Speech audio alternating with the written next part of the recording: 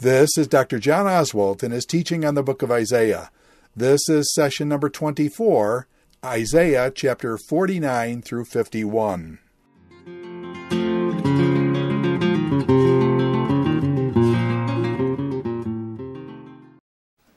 Let's pray together.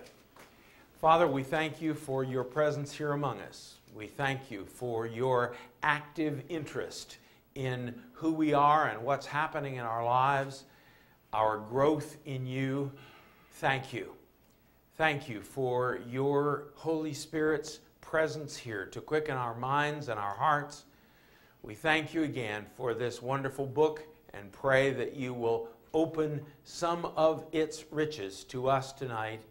Help us to apply these riches to our hearts and be better people, better Christians, because we've spent this hour together. In your name we pray. Amen. Amen. We're looking at the part of the book, Isaiah chapters 40 to 55. The first main division was chapters 7 to 39, trust, the basis for servanthood. I've titled Isaiah 40 to 55, grace, motive, and means for servanthood. We saw how chapter 40 can be understood as an introduction, and uh, we finished our study last week of grace, the motive for servanthood. God says to them, No, I have not cast you off.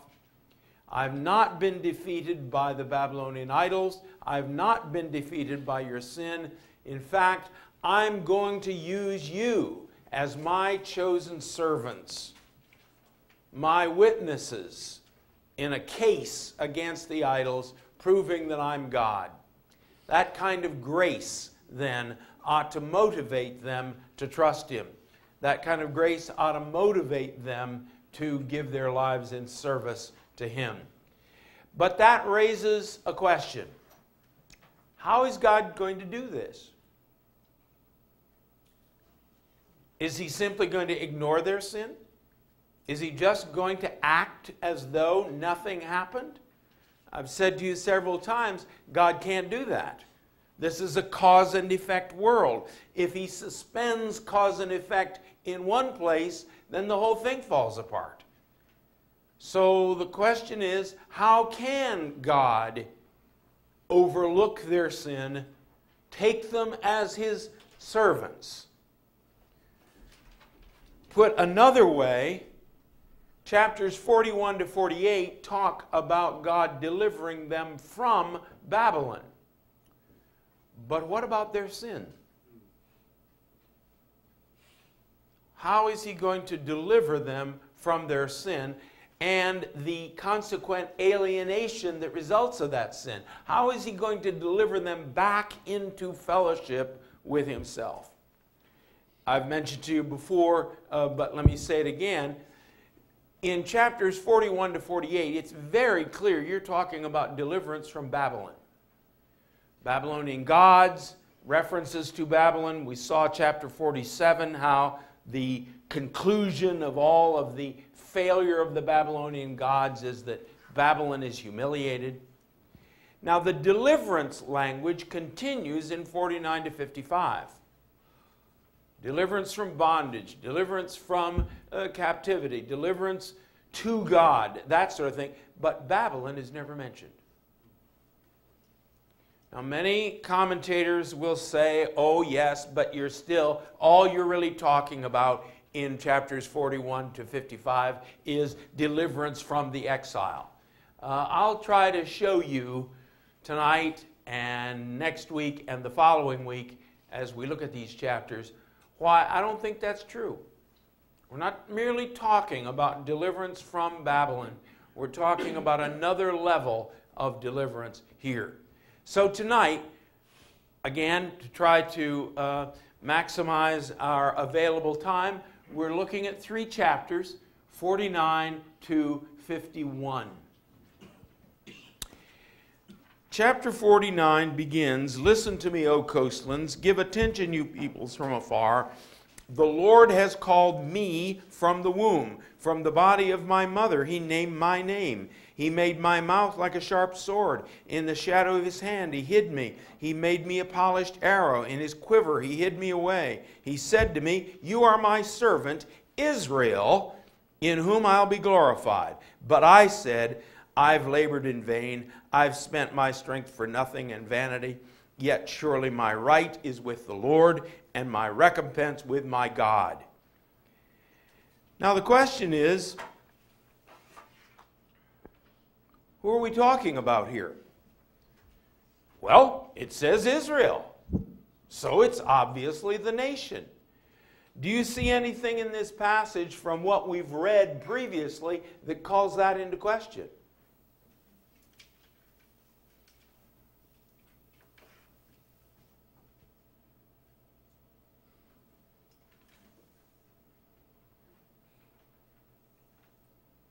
How has Israel been described in chapters 41 to 48?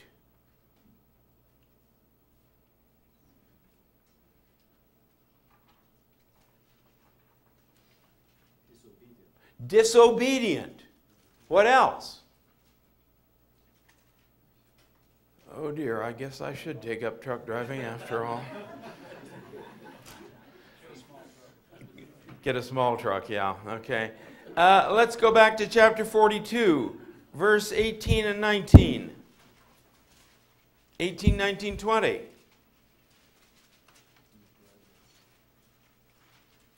What about the servant? Deaf. Deaf. Blind. Blind. Not looking. Verse 20, he sees many things but does not observe them. His ears are open, but he doesn't hear.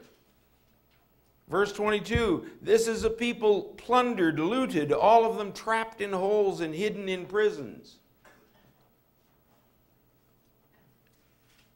Chapter 49 I'm a polished arrow hidden away in his quiver.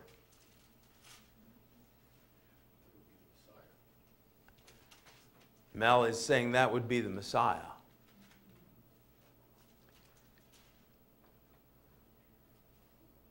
Surely my right is with the Lord, and my recompense with my God. So if this is Israel, it's a different kind of Israel. Let's go on, verse 5. Now the Lord says, He who formed me from the womb to be his servant, to what? Bring Jacob back to him. Go on. And gather Israel. Now, wait a minute. How's Israel going to gather Israel? In fact, what we're clearly talking about here is the ideal Israel.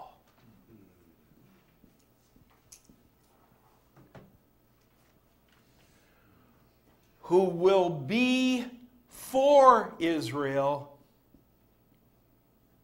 what Israel was never able to be in itself.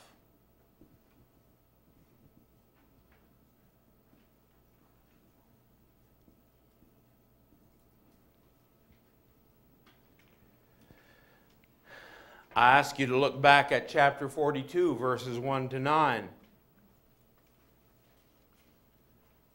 And you notice, verse 6 I'm the Lord, I've called you in righteousness, I'll take you by the hand and keep you. I will give you as a covenant for the people, a light for the nations, to open the eyes that are blind, to bring the prisoners out from the dungeon, from the darkness, those who sit in darkness. And here in chapter 49, verse 6. It is too light a thing that you should be my servant to raise up the tribes of Jacob and bring back the preserved of Israel. I'll make you as a light for the nations that my salvation may reach to the end of the earth. Uh, it's too little a thing for this servant just to save Israel. This servant is going to save the earth. Again, we're pretty clearly not talking about the nations. Now,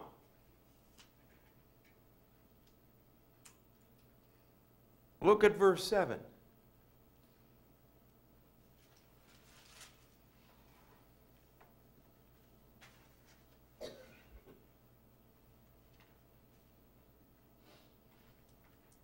How does the world react to this servant?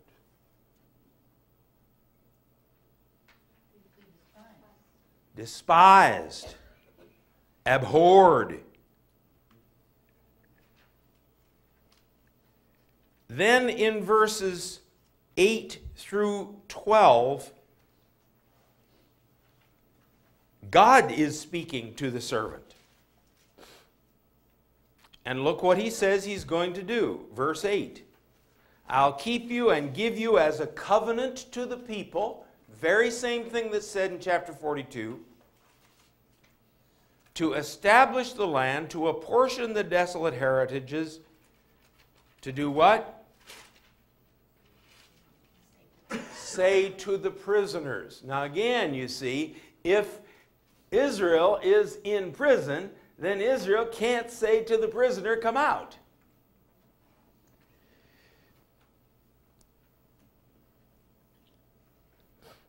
So,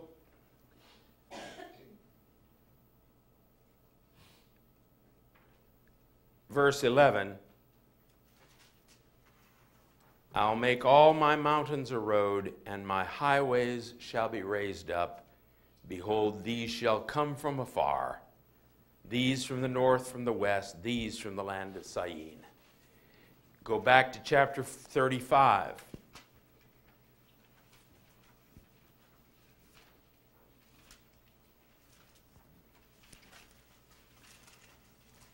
Verse 8.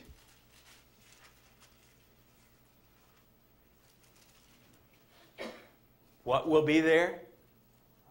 A highway a highway of holiness. And verse 10 tells us who will walk on that highway. The ransomed of the Lord will return and come to Zion with singing. Clearly, this servant is restoring not only Israel, but the world to God.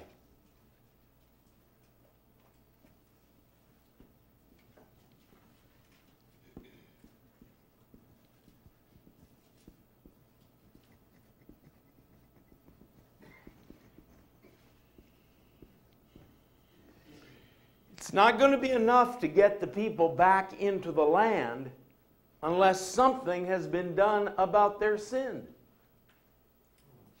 Otherwise, we're simply in the same mess we were in before with unforgiven sin.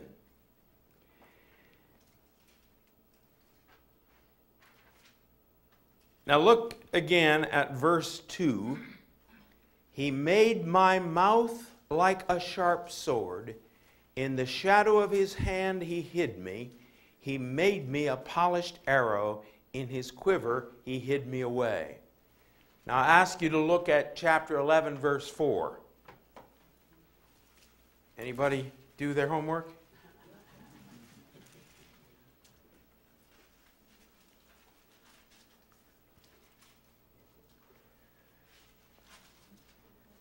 Look at what verse 4 says. He will strike the earth with the rod of his mouth with the breath of his lips, he will kill the wicked. He has made my mouth a sharp sword. Saying the very same thing, isn't it? Well, chapter 11 is clearly about the Messiah. So, who's this servant? this servant is the Messiah. This is not the nation of Israel. This is the ideal Israel who is for Israel what Israel could never be for itself. All right. Now look at the response then in verse 13.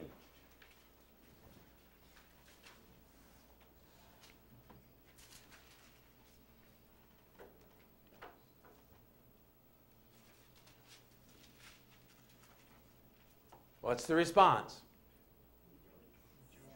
Sing for joy. Exult, O sing for joy, O heavens, exult, O earth, break forth, O mountains, into singing, for the Lord has comforted his people and will have compassion upon them. Look back at verse 44. 23.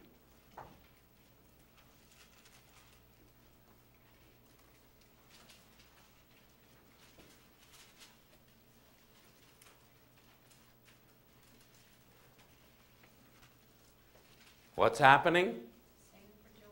Sing for joy. Who? Who's singing?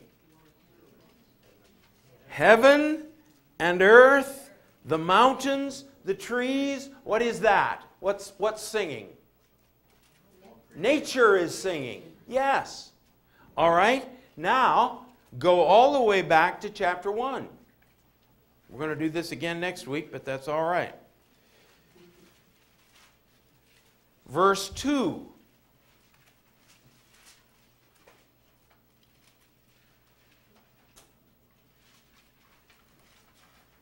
Who is the jury to hear God's case against his people? The heavens and the earth. Yes, nature is the witness of our sinfulness. And nature is the one who rejoices in our salvation. Do you remember what Paul says in the book of Romans? All nature groans, awaiting our redemption. Nature has been cursed by our sinfulness. And the day will come when nature will be redeemed. And so nature rejoices in the work of this servant. There in 44, and again here in 49.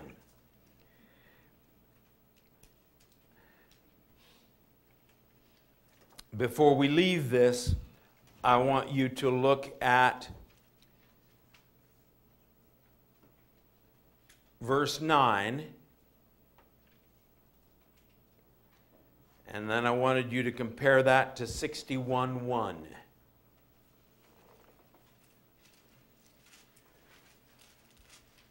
The Spirit of the Lord God is upon me, because the Lord has anointed me to bring good news to the poor.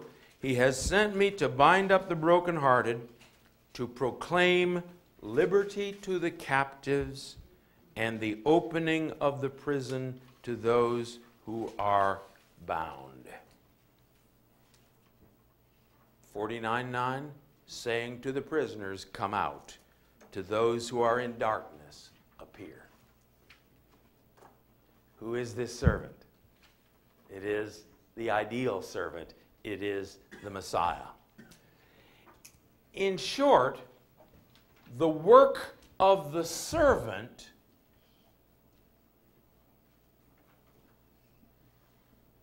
makes it possible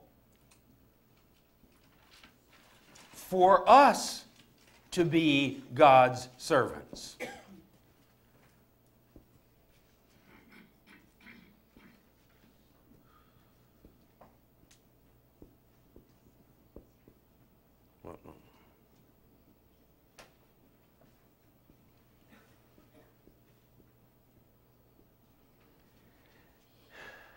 Now, the question that remains for us is how's that going to happen?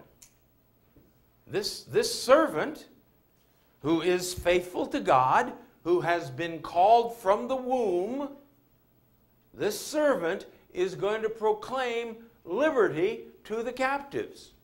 Not the captives in Babylon, but those who are captive to sin. And the question arises in our minds how's he going to do that? But there it is. Back in chapter 42, there were fully six verses of rejoicing over the revelation of this servant. And, and maybe you remember that I said in 41 to 48, all the references but one are to the nation. Here in 49 to 55, I should say, and the one was this servant who's obedient, who is sensitive, who is called by God, who is called to be a covenant to the people, to bring justice to the nation. That's the one here. In 49 to 55, all but one are to the ideal servant. And that one is the very last one in chapter 54. So, an interesting flip flop in the proportions that we're doing here. I think what's going on in 41 to 48 is that God is just sort of introducing this ideal servant there. His main point is to say, You are chosen. I have not cast you off. I'm going to use you in my case. And if you got a question about how that happens, well, let me tell you. I'll just introduce this fellow to you. Now, here, we go the other way. I remind you that he did this for you, but the primary emphasis is on him. All right. So, what is Israel? The, the, the mountains and the hills are singing over this great good news of the servant. And how does Israel respond in verse 14? Disbelief. The Lord has forsaken me. The Lord has forgotten me. And you sort of hear the hills and the the heavens and the earth saying, Oh, good grief.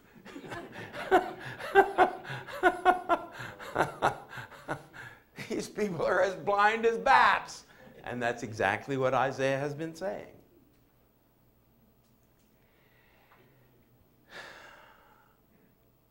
So,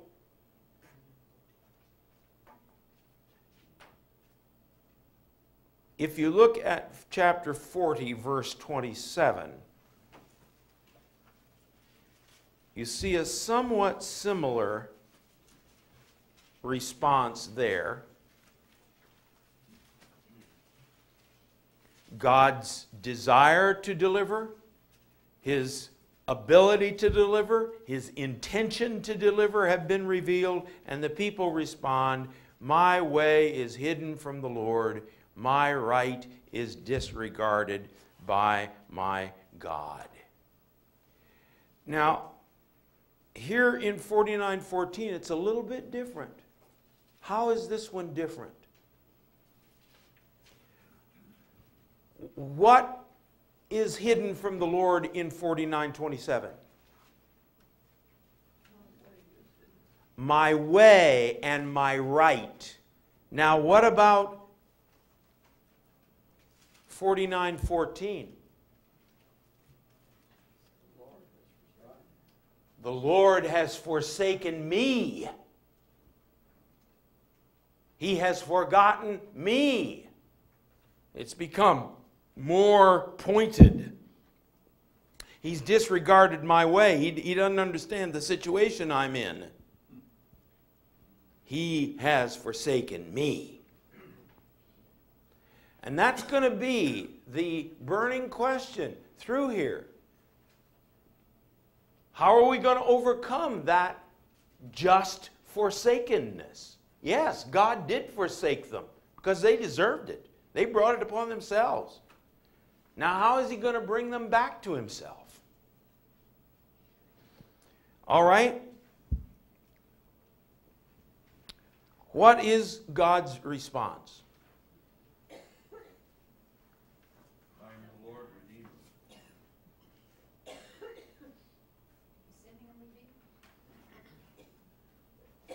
How about verse 15?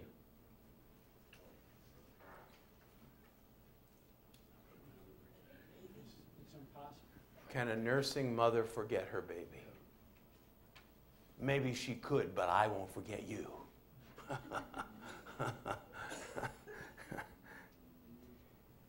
I have engraved you on the palms of my hands. Tattooed. That's a big hand.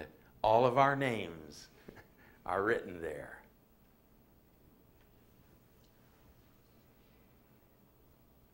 Now, if you look at verses 15 through 26, there's one prevailing concern that Israel has that God is addressing. What is God promising to do in these verses?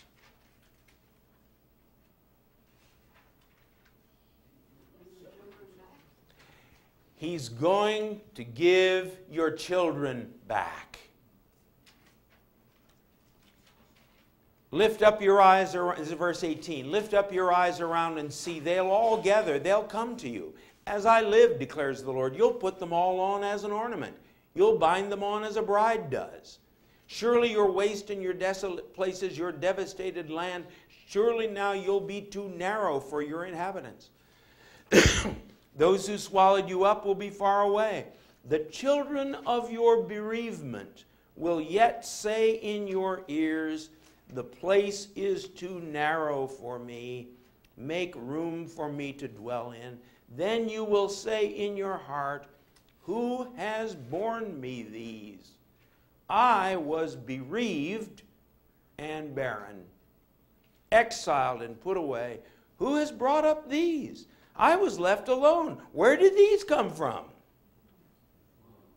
Now, why why would that be a concern for the exiled people?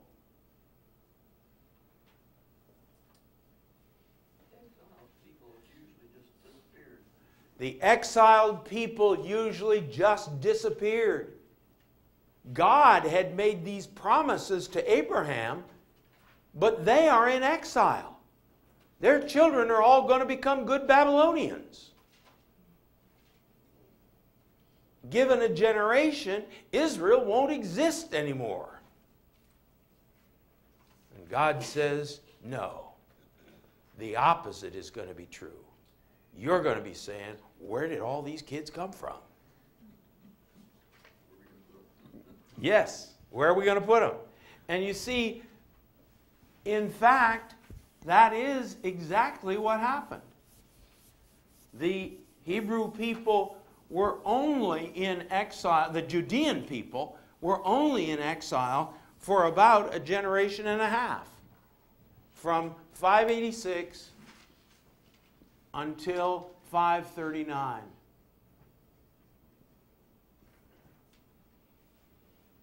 About 45 years. God says, No, I'm not going to let it happen. You are not going to disappear. You're not going to be dissolved. I'm going to preserve your life. I'm going to restore you to myself. So, verse 24 Can prey be taken from the mighty, or captives of a tyrant be rescued? Thus says the Lord Even the captives of the mighty shall be taken, and the prey of the tyrant be rescued. For I will contend with those who contend with you, and I will save your children. Back in chapter 44, he says, I'm going to pour water on the dry land, and your descendants will spring up like rushes beside the waterways. And one of them will write on his hand, the Lord's, and another will say, I belong to Jacob and another will say, I belong to the Lord. So that promise, no, no, I am not going to let you disappear as a people. Now, I have to believe that that promise is still applying to the Jewish people. I don't see any way you can explain the existence of the Jews today after 2,000 years of we Christians trying to get rid of them. There they are. Still a coherent group. I don't think there's any good explanation for that apart from the fact that God continues to care for them. He continues to yearn for them, to long for them, and to protect them under his hand. Now, you ask the Jews, and many of them will say, We'd like to be unprotected if this is what it means to be chosen. but in fact, it seems to me they still remain among the chosen.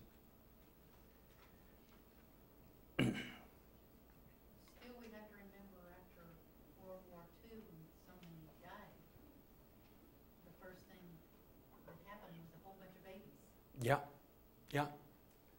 The, the Hitler and Goebbels and Goering made it their mission to destroy Judaism from the face of the earth. And where are Hitler's and Goebbels and Goering today? In a very warm spot. yes? Yes? Okay, now I want you to look at the last part of 23 and the last part of 26. There are statements there that we've encountered in this study and in other studies. What is God's purpose? Yes. Yes. You will know. That's verse 23. And who will know in verse 26? All flesh, all humans will know that I am Yahweh, your Savior, your Redeemer, the mighty one of Jacob. God's purpose is that we might know him.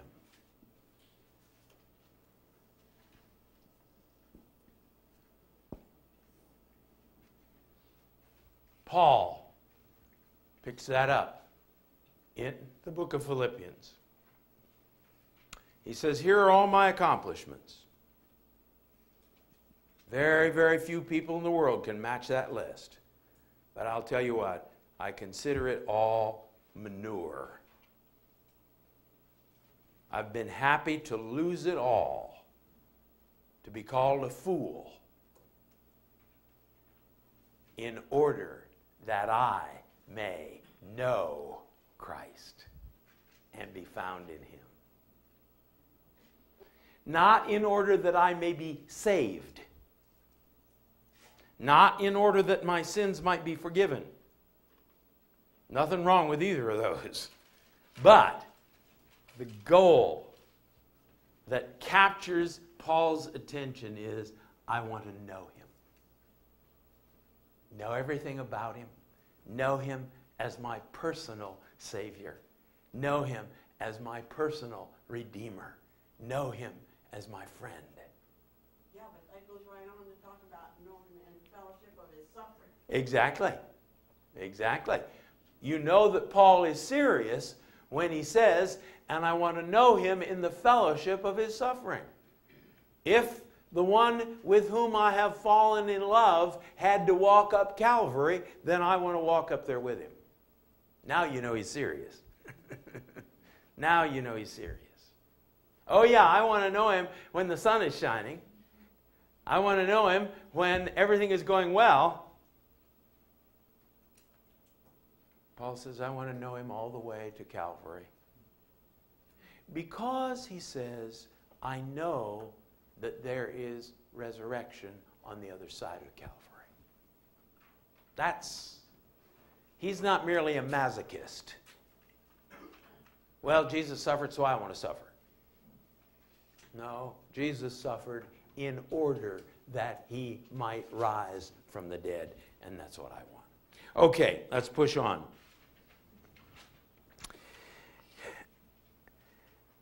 The, the segment really goes, as you have it on your sheet, from 49.14 through 50 verse 3. Uh, you've, you've forsaken me. No, I haven't. And here's the evidence that you're going to see you're going to have more children than you have any way of imagining. Why? Because I am your Redeemer. Well, wait a minute. Chapter 50, verses 1, 2, and 3.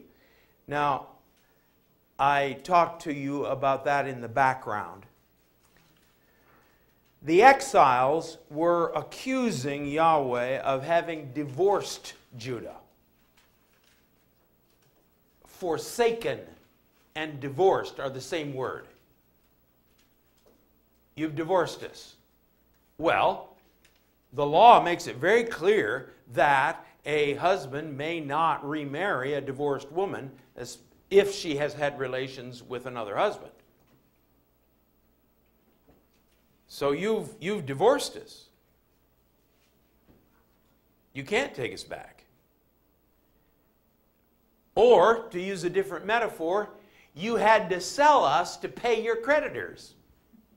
So you can't get us back.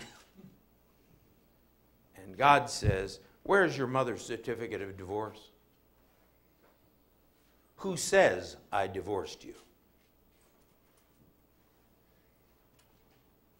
Which of my creditors did I sell you to?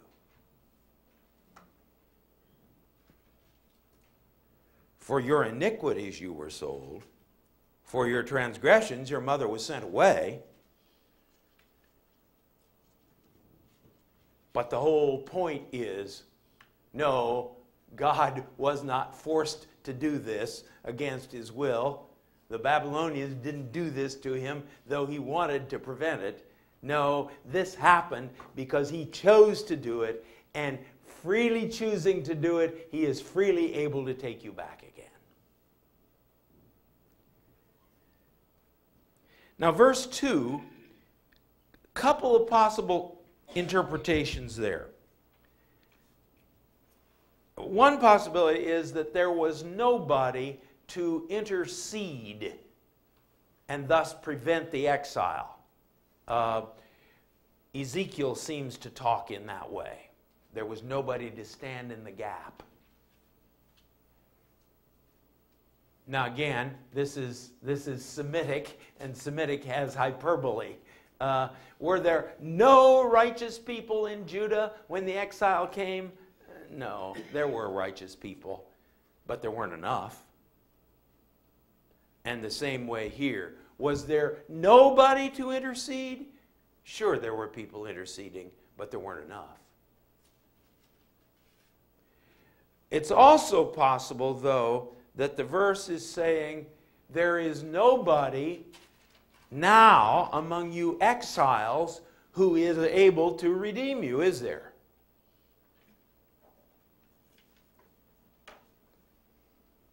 So, is my hand shortened? If there is nobody, if there was no righteous person at the time the exile occurred, if there was no intercessor at that time, if there is nobody now who can deliver you, does that mean I can't? no. Now, this hand and arm thing is going to be very important. I'll uh, ask you to pay careful attention to that. The two are used interchangeably to talk about God's power of, of salvation.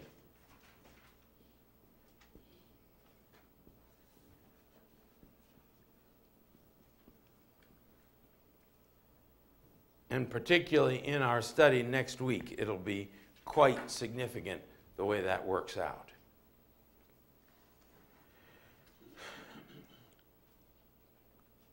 So then we come to chapter 50, verses 4 to 9.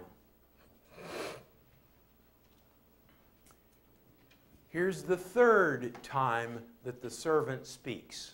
The first one was in chapter 42, the second was in 49. Here's the third one.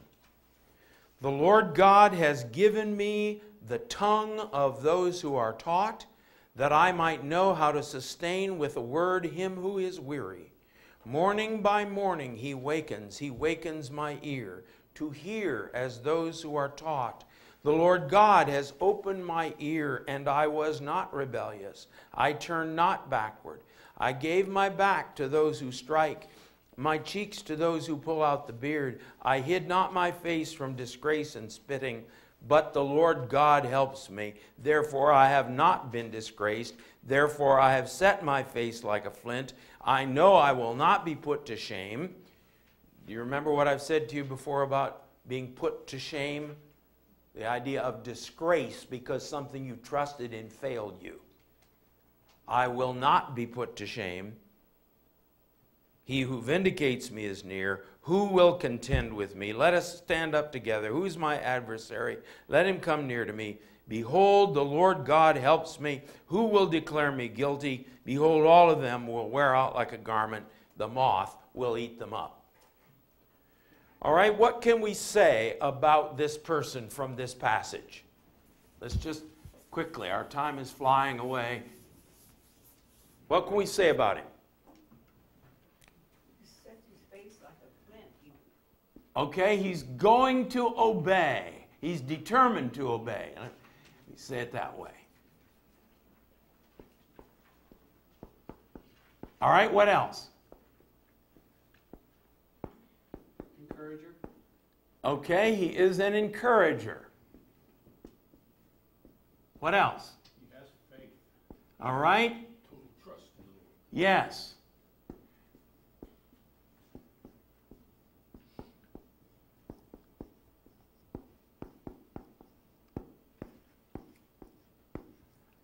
All right, what else?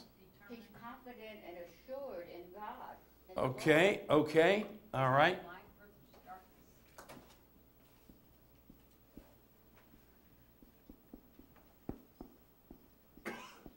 What? It's light versus darkness. Light, okay.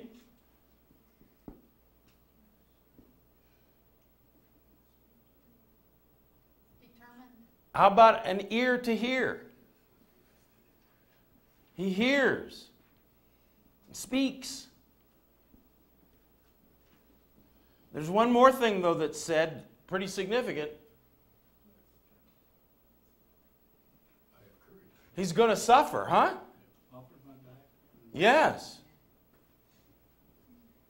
And I think we can assume, it's not said explicitly, but we can assume he suffers unjustly. Nobody will make me guilty, he says. Once again, we're not talking about the nation.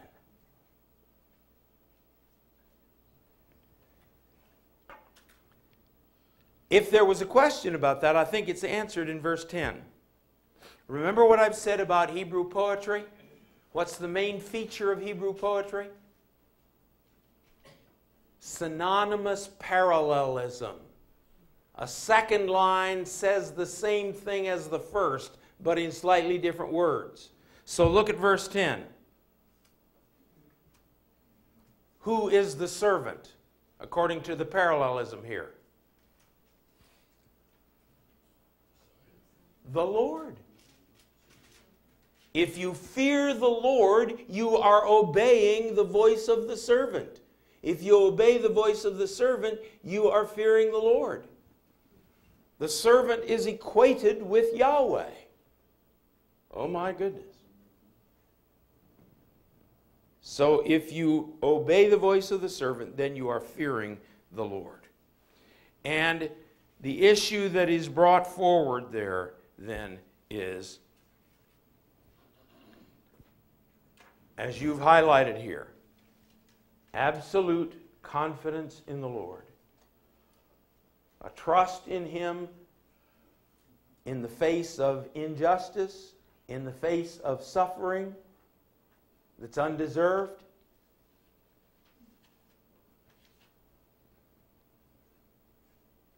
And again, we ask ourselves, well, where does that come from? Why? Well, why does this person suffer? Why are, why are they treat, why is he treated badly? And we don't know the answer yet. So if you walk in darkness, what's the solution? According to verse 10 and 11. You got two choices. You can kindle a fire for yourself, and what'll happen? No? You'll lie down in torment. You'll burn yourself up. And how true that is. How true that is. I'll light my way with my own education. I'll light my way with my own accomplishments. I'll light my way with my own power. I'll light my way with human love. And God says, Good luck.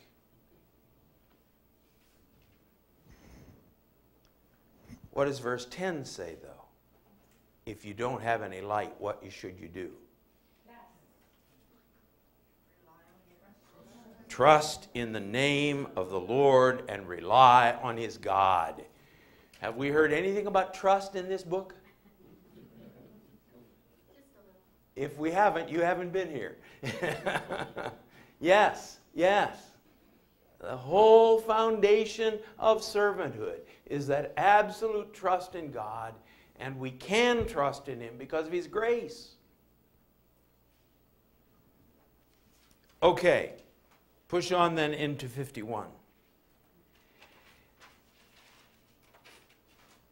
Notice how many times listen gets repeated here.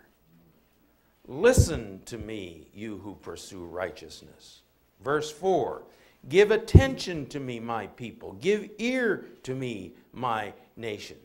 Verse 7 Listen to me, you who know righteousness.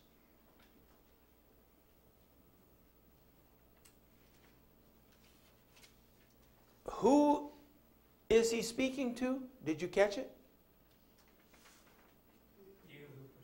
You who pursue righteousness. Verse 4, my people. Verse 7, you who know what is right. Now, why is God addressing these people?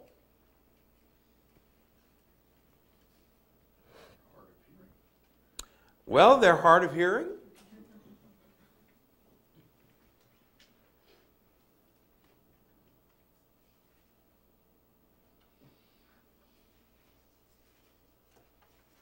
What other thoughts? Why, why address what you have to say to these people?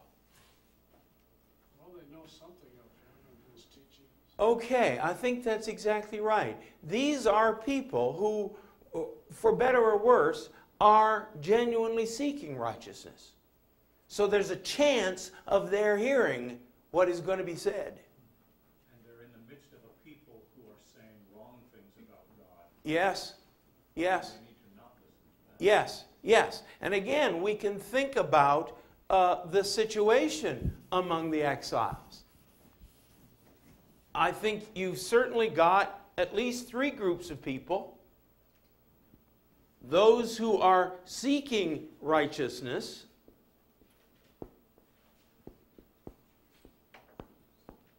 Those who are mocking righteousness and saying, hey, this is all a bunch of craziness.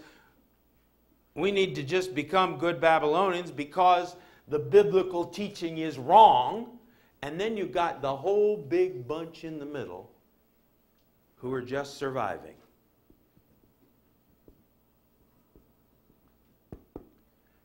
There probably is not much hope for these folks. But these folks,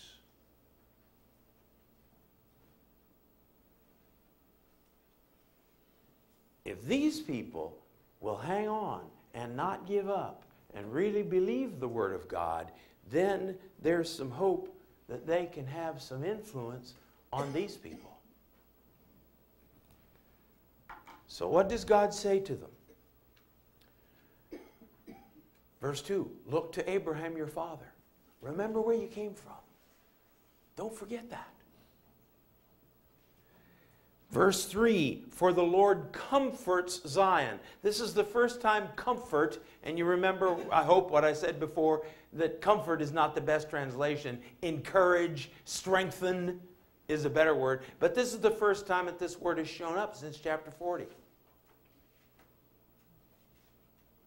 One of the reasons I think chapter 40 is introductory to all of 41 to 55.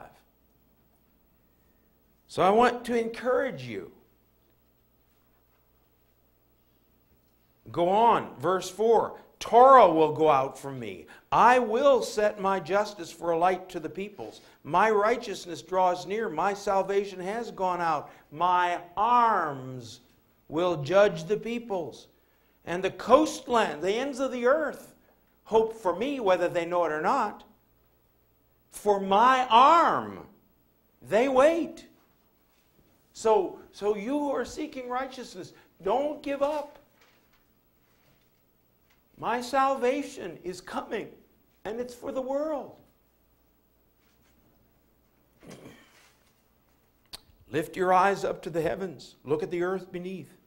The heavens vanish like smoke. The earth will wear out like a garment. They who dwell in it will die in like manner. But my salvation will be forever. My righteousness will never be dismayed. The heavens and the earth, they're going to flee away. But my salvation, my righteousness is going to last forever. Don't forget it. So, verse 7 don't be afraid of the reproach of man or be dismayed at their revilings. Hang in there, baby. That's the Living Oswalt version.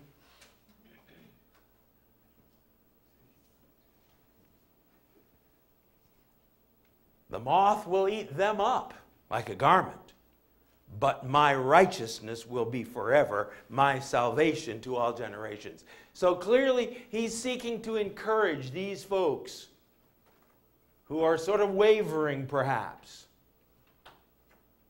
God's saying, don't do it. Stand, stand firm. Oh, how true this is for you and me. As we see Christendom going down the tubes all around us. I think chapter 51, verses 1 to 8, is for us. Hang in there. So, how do they respond? Verse 9. Wake up, arm of the Lord.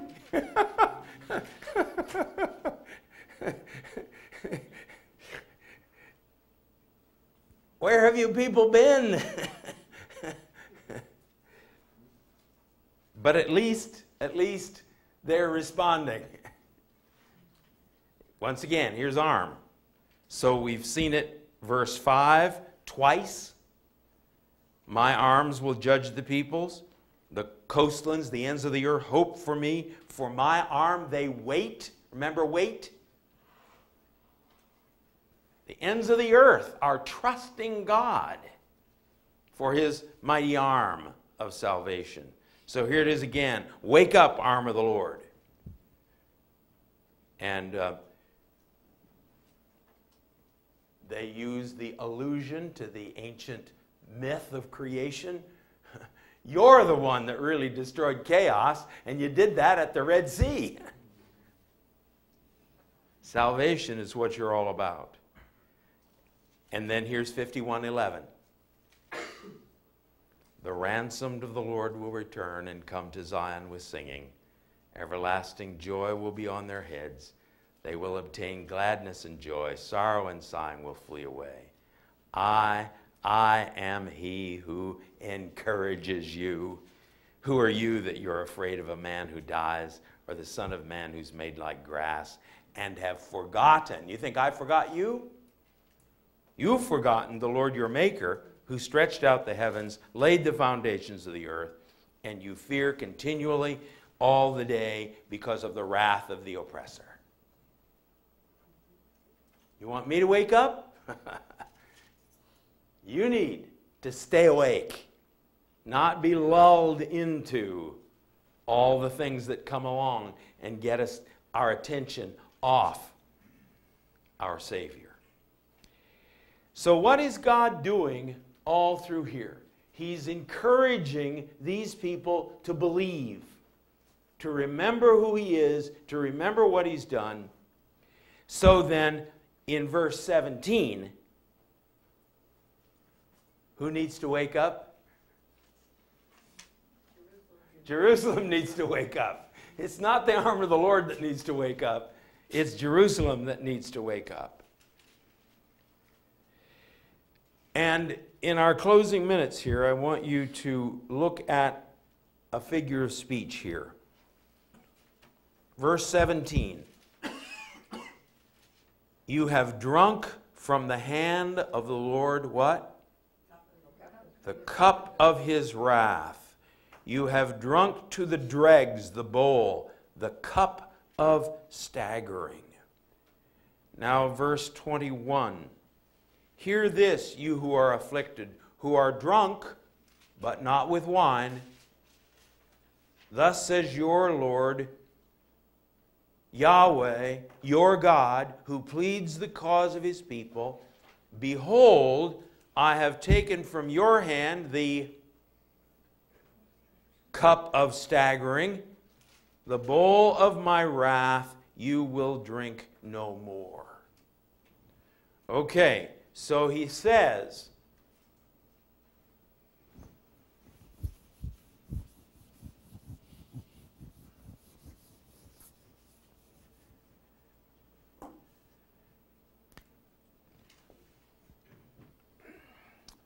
You drank it.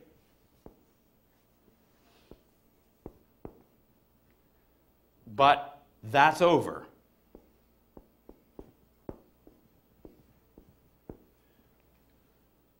And your enemies are going to drink it.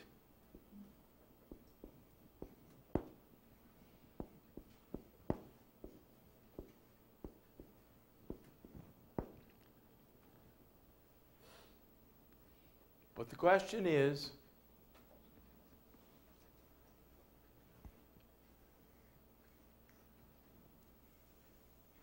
how can God take that cup out of our hands? We deserve it.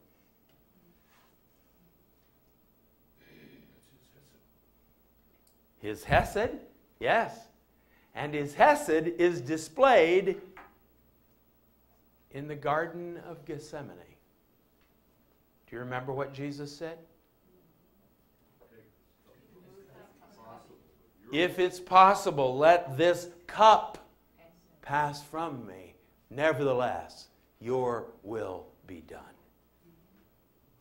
The cup of staggering, the cup filled with all the vile sins of humanity.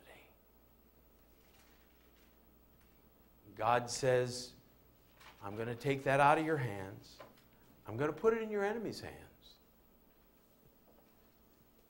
But the only way he can take it from our hands is if he himself drinks it and drinks it to the bottom. Yes? You are my servants. And the question is, how? How can he be? How can we be his servants? Only if a way is found to take that cup out of our hands. Let's pray.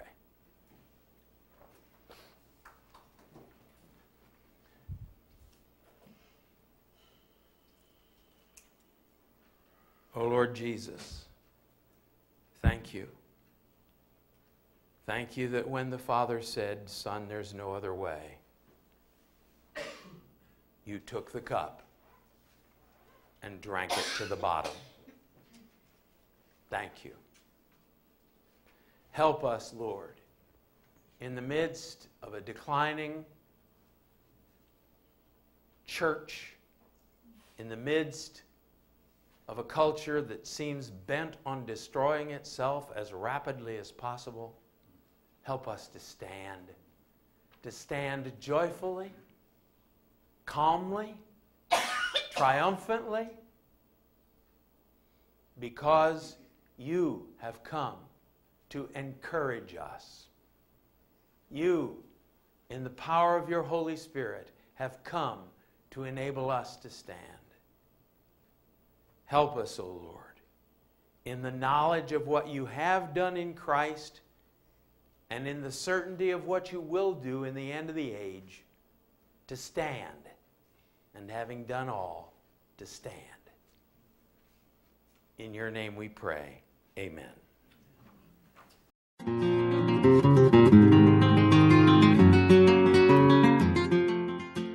This is Dr. John Oswalt in his teaching on the book of Isaiah.